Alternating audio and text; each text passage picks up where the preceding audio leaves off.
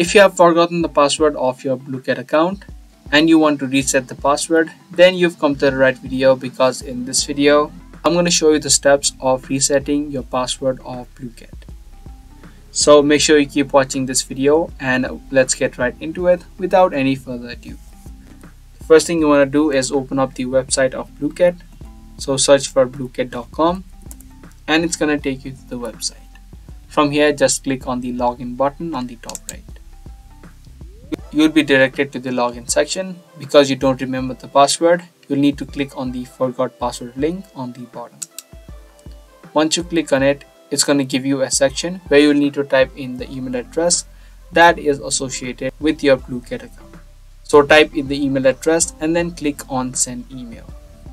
Now a password reset email will be sent to the email address.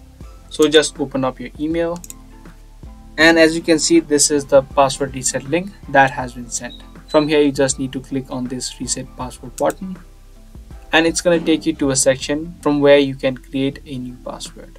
So firstly type in the email address again. In the second box create a new password.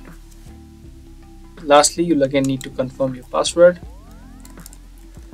and then click on reset and your password will be successfully reset and now you can again head back to the login page and you can now type in the new password that you created and you'll be successfully logged into your account.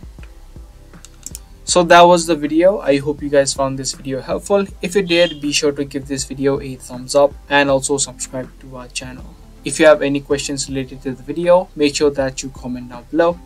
And that's pretty much it for today. Thanks for watching.